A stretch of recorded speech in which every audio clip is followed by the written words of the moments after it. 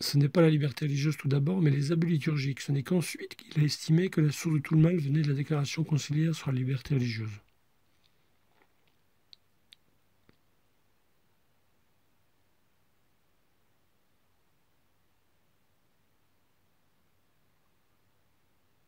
Face à un texte que qu'on ne comprend pas, l'attitude catholique, c'est de l'interpréter de manière euh, catholique, de manière traditionnelle. Le génie de l'Église catholique, c'est de s'adapter aux mutations de civilisation tout en préservant le dépôt divin de la révélation. À chaque fois que cela se produit, une partie minime du troupeau de l'Église crie à la trahison et reste dans son coin, fait un schisme, en refusant les nouvelles modalités de la même vérité éternelle.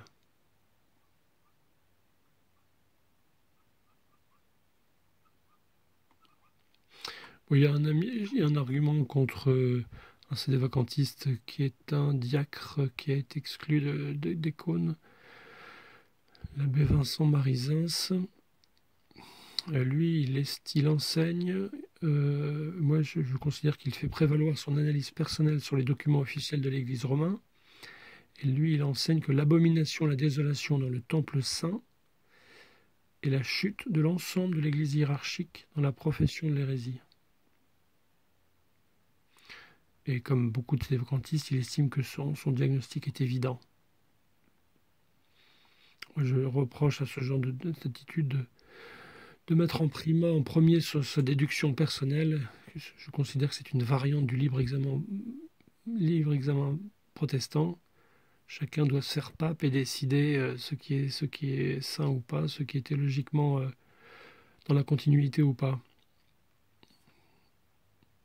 par exemple, ma réflexion personnelle me porte à conclure que l'abomination dans le temple saint de Dieu, dont parle la Bible, serait l'apostasie de la quasi-unanimité d'Église hiérarchique. Euh, et donc, tel Sévacantiste va dire que cette conclusion est évidente. Mais. Euh,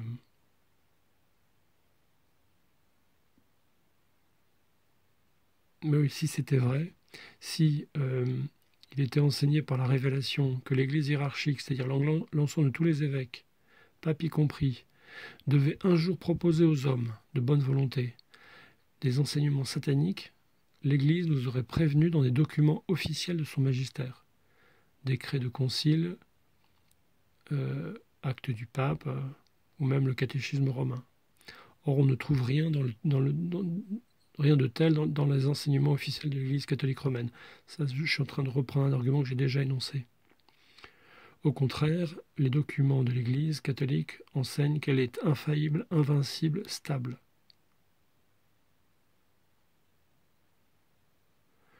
Il est clairement enseigné, notamment à Vatican I, que l'Église catholique ne donnera jamais aux hommes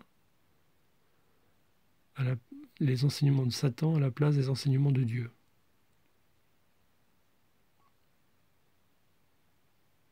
Jésus a dit à ses apôtres, c'est à deux reprises, c'est dans Matthieu, Saint Matthieu et dans les actes des apôtres, qui vous écoute m'écoute. Jésus n'a pas dit qui écoute Pierre m'écoute. Il a promis, le, il a fondé l'Église sur Pierre, mais il n'y a pas que Pierre, il y a Saint Pierre, le pape, le chef visible, le juge suprême, le législateur suprême, mais il y a aussi le collège des évêques. Jésus a promis l'invincibilité non seulement à l'évêque de Rome, successeur de Saint Pierre, mais aussi à tous les évêques. Je suis avec vous jusqu'à la fin des temps. Jésus n'a pas dit je suis avec Pierre jusqu'à la fin des temps.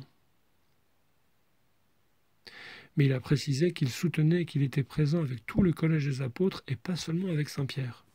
Évidemment que Dieu soutient le pape.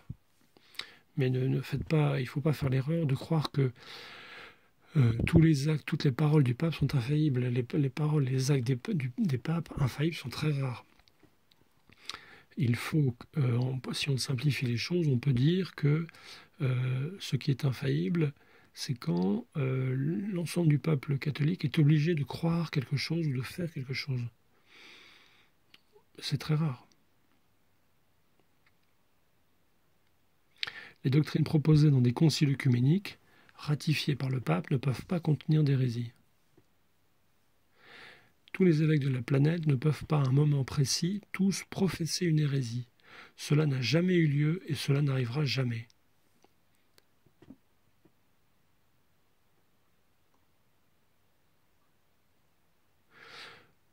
j'avais discuté de ça avec l'abbé Zins, qui estimait que l'analyse que je faisais de ses écrits était grandement éloignée du fond de sa pensée. Lui, il considère que euh, il voit une opposition absolument inconciliable entre les enseignements de Pie IX et celui de Paul VI, notamment sur la liberté religieuse, et du coup, il en déduit, il pense pouvoir en déduire, au nom de la faillibilité pontificale, que Paul VI ne peut pas être pape.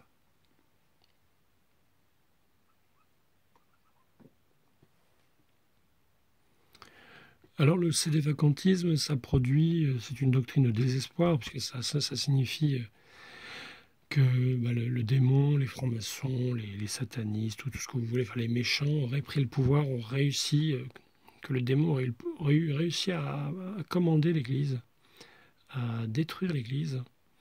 Donc en fait, ça donne beaucoup. d'abord, il il s'éloigne de l'Église. Alors, parfois, il s'éloigne donc de de la fraternité Saint-Pédis, qui elle-même, en étant 2020, elle n'est pas encore réintégrée dans l'Église. Peut-être qu'elle le sera, peut-être qu'une partie sera réintégrée dans l'Église. Aujourd'hui, on est dans une situation bizarre, puisque le pape François a reconnu que les absolutions de la fraternité Saint-Pédis étaient valides. Donc on peut se confesser un prêtre de la fraternité Saint-Pédis, mais si on va à leur messe, on commet un péché mortel. Bon. Mais bon, j'espère que cette fraternité Saint-Pédis sera réintégrée dans l'Église romaine. Euh, le pape Benoît XVI avait levé les excommunications des quatre évêques schismatiques. Euh, mais donc le, cédé-vacantisme, en fait, ça donne, euh, ça donne aussi des, athées finalement. À force d'être désespérés, ils en viennent carrément à perdre la foi en Dieu. Et puis entre eux, comme je l'ai dit dans le courant de la vidéo, bah, ils se disputent entre eux. je me souviens d'une discussion qui m'avait beaucoup marqué avec un, un, père de famille. Et alors lui, il en est arrivé, à force de lecture et de cogitation, à considérer que bah, l'Église était tombée, enfin il n'y avait plus de pape, euh, non seulement, je crois que c'était au 19e siècle, je ne sais plus, euh, il y avait tel acte fait par le pape où il avait dit non, non, ça c'est pas correct, donc il s'était dit bah, ce pape-là n'est pas pape. Et ils sont un peu tout, enfin, moi ça me fait beaucoup penser au, au libre examen protestant, il faut, avec les vacantistes, le moindre baptisé de devenir un docteur en théologie, doit être capable de d'apprécier tel document romain euh, par rapport à tout le passé, tout, le magistère, toute l'histoire de la théologie. C'est délirant parce que Jésus a comparé l'Église à une montagne, à un rocher, euh, et la montagne est stable. Il a aussi une ville mise sur une montagne. Donc l'Église, c'est ça qu'on ne trouve pas dans l'islam ni dans le protestantisme, même l'orthodoxie est extrêmement divisée entre différentes euh, patriarcats, différents euh, groupes d'orthodoxes. La seule religion au monde qui a une instance arbitrale unique, c'est l'Église catholique romaine. Et c'est justement fait pour que les gens qui sont très simples, euh, qui n'ont pas des bacs plus 27, aient un guide sûr qui leur dise ce qu'il faut croire, ce qu'il faut faire pour aller au paradis et éviter d'aller en enfer.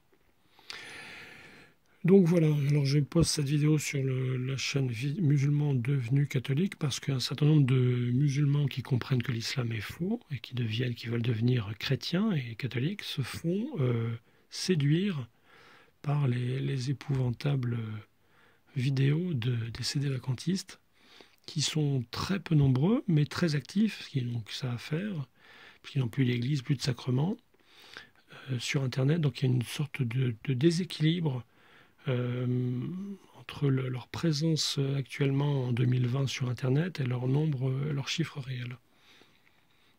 Nous allons terminer par une prière pour euh, la conversion de le salut et la conversion de tous nos frères bien-aimés vacantistes et ecclésio-vacantistes, et puis aussi pour que tous nos bien-aimés frères musulmans trouvent le bonheur du salut de l'âme et même de la, du bonheur sur terre en devenant de fervents et de saints catholiques romains.